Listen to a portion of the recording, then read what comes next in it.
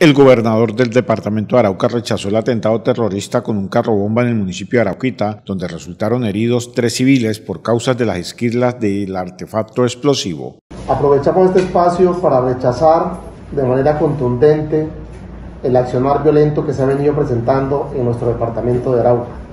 Hoy, en horas del mediodía, se presentó un atentado en el municipio de Arauquita, el cual arrojó tres civiles heridos. Solidarizándolos con el municipio de Arauquita, con el señor alcalde doctor Etelíbar Torre y todos los habitantes de este municipio.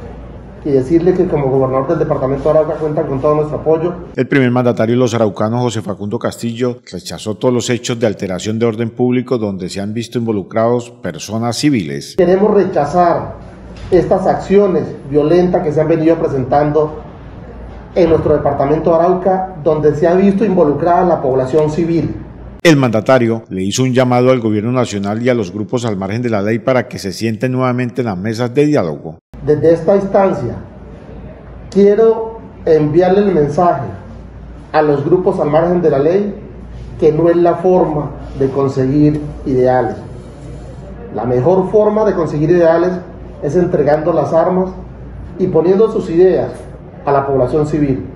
Por eso hago un llamado al gobierno nacional, a los grupos al margen de la ley, para continuar con los diálogos de paz en este país.